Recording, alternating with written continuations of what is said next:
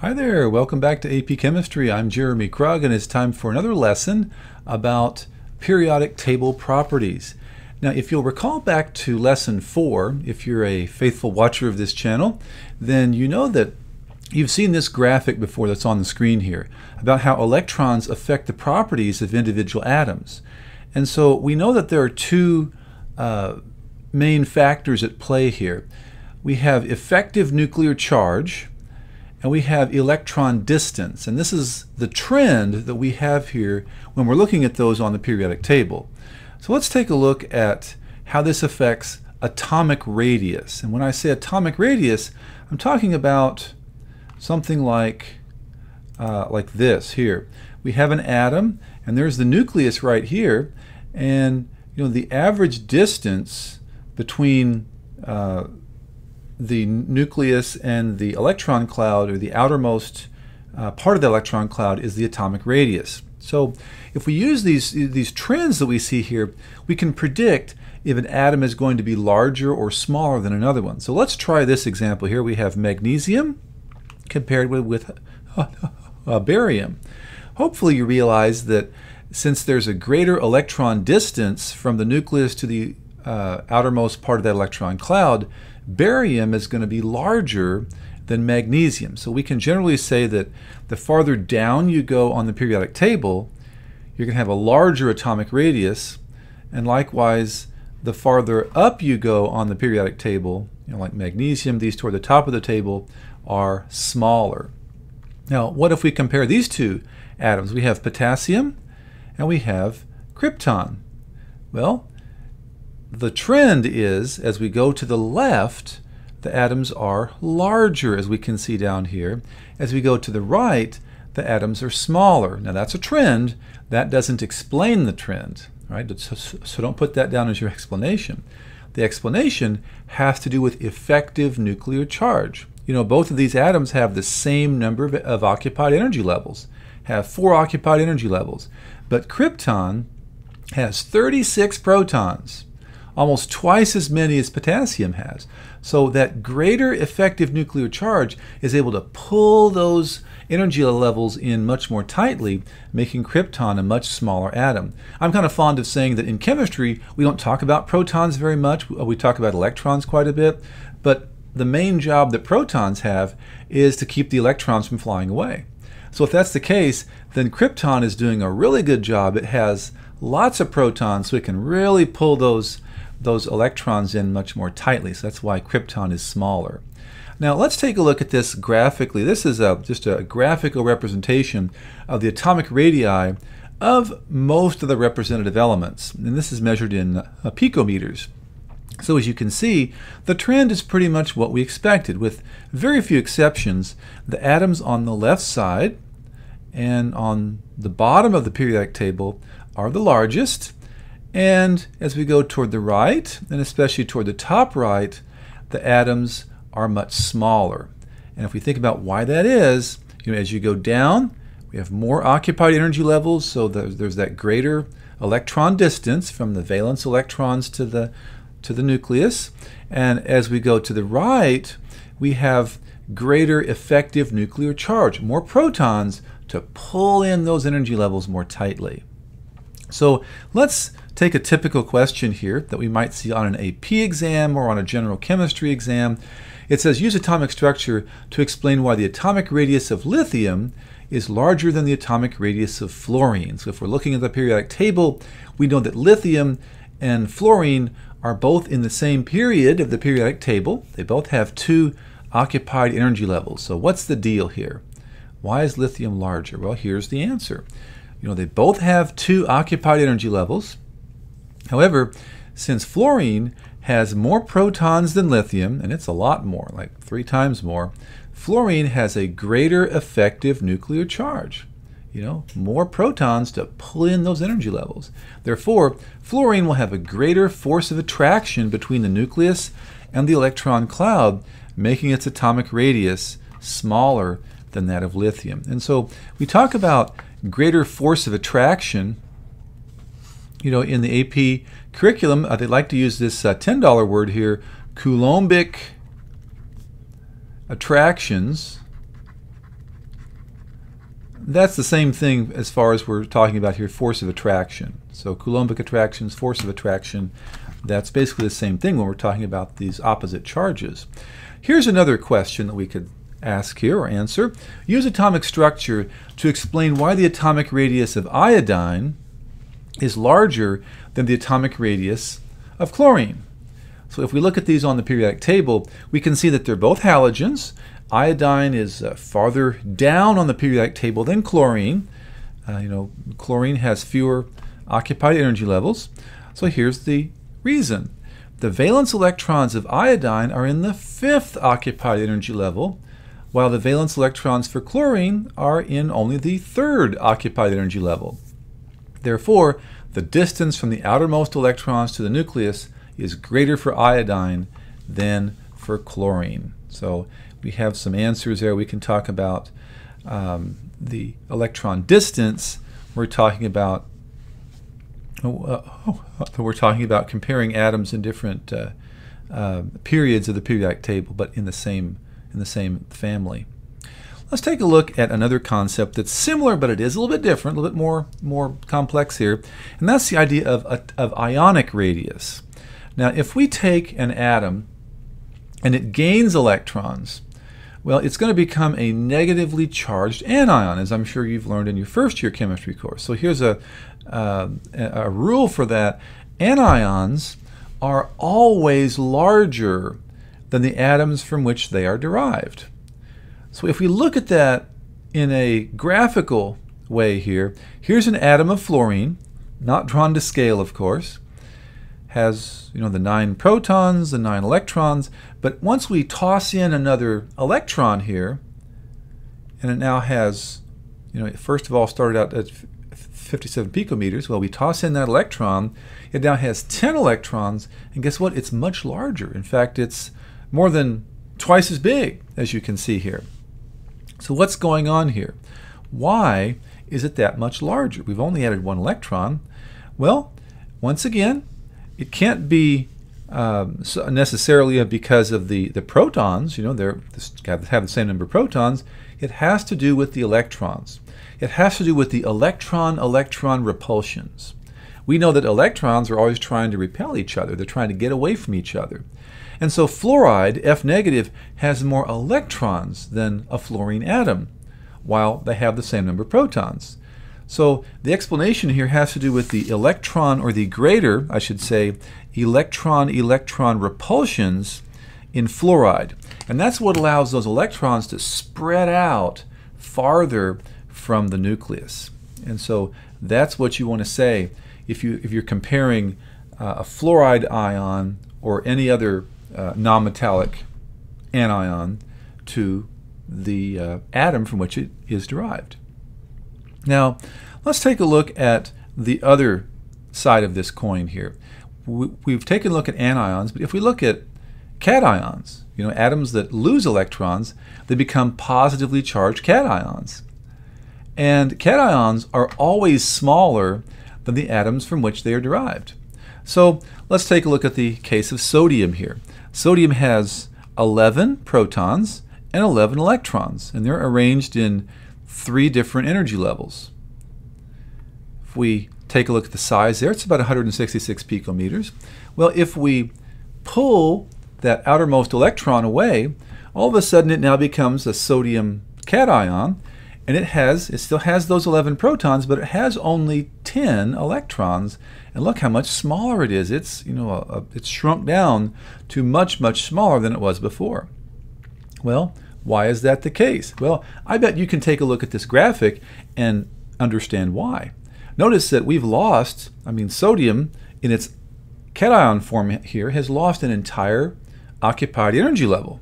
You know, sodium has more electrons over here and more energy levels than the sodium cation, while they have the same number of protons. And so we can say that the sodium ion had its outermost electron in the third occupied energy level, while sodium, the sodium atom, has its outermost electrons in the second occupied energy level. So we can see that we've lost an entire occupied energy level, and you know that makes it smaller. Now here's another thing to think about. If it helps, think of this as kind of a tug of war. We know that the job of the protons is, is to keep the electrons from flying away. And if we look at this here, we can say that there are the same number of protons. They have 11 protons in both of these. But, you know, we have 11 electrons, but only 10 electrons in this one. So the protons are winning. It's their job to pull those energy levels in. So they're pulling them in much more tightly, and the the the uh, the resulting ion is a lot smaller. Over here, in this example, they're the same, and so neither one is really winning, and so you know that atom is much larger. Let's take a look at a trend, and if we look at the atomic radius of uh, the representative elements, in fact, I should call this ionic radius. Let me correct that up here. We have the ionic radius of representative elements in picometers, we can see that the trend is, is similar. As we go down the periodic table, we have you know more occupied energy levels, and so the, the ionic radius gets larger, as we can see. As we go to the right, we are losing more and more electrons. You know, like in the case of the rubidium ion, we've only lost one electron. Down here, antimony has lost five, and so it you know, it, it's much, much smaller. There are more protons and electrons by quite a bit, by five evidently. So these sizes are getting much, much smaller. Now, it's a similar trend if we look at just the anions. You know, to the right we get smaller, down we get larger for pretty much the same reason. Of course, if you compare anions and cations, well, you'll find you know it gets smaller and then it jumps up quite a bit, and then it gets smaller again. So we have that trend for ionic radius as we look at these different ions. Now, let's compare a couple of things here. Let, us compare the two ions that we talked about here in our earlier examples. Let's compare the sodium ion and the fluoride cation. And we notice that they both have the same number of electrons. They both have 10 electrons. We can count them there, we can look at them from the way they're configured. And so whenever we have different species like this that have the same number of electrons and the same electron configuration, we say that those two are isoelectronic. You know, sodium started out with this ground state, this normal electron configuration. It lost an electron. Fluoride started out like this. It, you know, gained one. So they have the same electron configurations. So in chemistry, we say that these two ions, or these two species, are isoelectronic with each other. You know, the same electron configurations.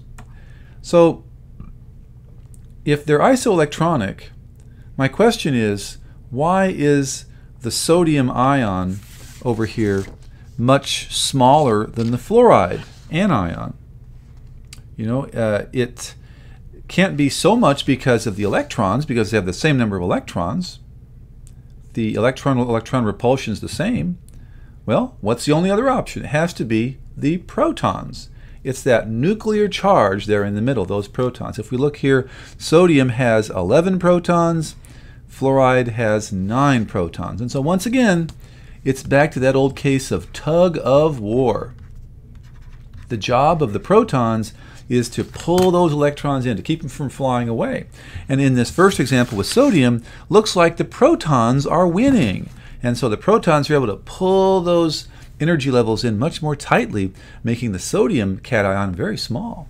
Whereas in the fluoride example, the electrons are winning and they're trying to get as far away from as they can from the nucleus. And so here the electrons are winning, so it makes that anion much larger. And so, you know, that's a case to compare here. If they're isoelectronic, you have to compare protons. Now, with what we've learned here in this lesson, let's take a look at some examples, some questions that you might see on homework or quizzes or tests.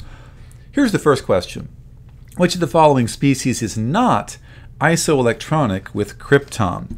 Well, the periodic table will help us here. We know that selenium normally has 34 protons by looking at the table there, but that negative 2 means that it's gained 2 electrons, so that's 36. Now, krypton normally has 36 electrons, so it looks like selenium, or the selenide ion, is isoelectronic with krypton. Potassium, on the other hand, normally has 19 electrons, and it's positive 1 here, so that means it's lost an electron, which is 18. So that's not the same as 36. So I'm going to say that it is potassium. And that is correct. Now, just to make sure here, let's just check with the others here. Strontium has, I believe, 38 electrons, and the 2 positive means it's lost 2, so yeah, we're down to 36. And bromide, well, bromine normally has 35 electrons, but that negative means it's gained 1. So, yeah, 36. So, choices A, C, and D all are isoelectronic with krypton, having 36 electrons. That potassium anion, or cation rather, is not isoelectronic with krypton. Now, let's rank these four species in order from smallest to largest in size. Now, once again, the rule of thumb here is that we have to realize that since they have the same number of protons, they all have nine protons, it all comes down to the electrons, that electron-electron repulsion. The one that has uh, the fewest electrons is going to be the, the smallest. And the one that has the most electrons is going to be the largest. And so if we're ranking from smallest to largest, we need to find that the one that has the fewest electrons first. So that would be the most positively charged. So that's the F plus. The F plus is the most positively charged, so it's the smallest. And then the one that's next in order of charge is the neutral fluorine atom. And then after that is the fluoride negative 1 atom. And then the one that's largest is the one that's most negatively charged. So that's the fluoride negative 2 ion. So that's the order in which they're going to be ranked. Let's try one more example together here. Let's arrange these ions in order of increasing size. Now notice that I've kind of thrown a little curveball at you here. Notice that we don't have the same element this time. Uh, you'll notice if you start looking at, at, at these electrons on the periodic table, where these are, all four of these species are actually isoelectronic with each other. They have the same number of electrons. They all have 18 electrons if you start uh, looking at these. They're isoelectronic with the noble gas argon. So if it's not electrons, it has to come down to protons. The one that's uh, smallest is the one that's going to have the most protons. And the one that's uh, the largest is going to have to be the one that has uh, the fewest protons. And so if we're going in increasing size here, we want the smallest one first. So the, whichever one has the most protons, so I believe that would be uh, calcium here, has the most protons with 20. And then uh, potassium has 19 protons, so that one's next. And then uh, 17 protons is next, that's chlorine. And then 16 protons, the one that has the fewest protons, is going to be the largest. It's, it's not going to be able to keep those uh, energy levels in as tightly. So sulfide is going to be the, the largest one here. So we've taken a look at several examples of how this works. I hope you've enjoyed this video. I hope you've learned something about periodic table properties and, um, and about atomic radius and ionic radius and isoelectronic species. If you've learned something, if you'd please smash that thumbs up button, that would be really appreciated. Thanks for joining me on my AP Chemistry and General Chemistry channel. My name is Jeremy Krug and hope you join me again in the future where we can learn some more chemistry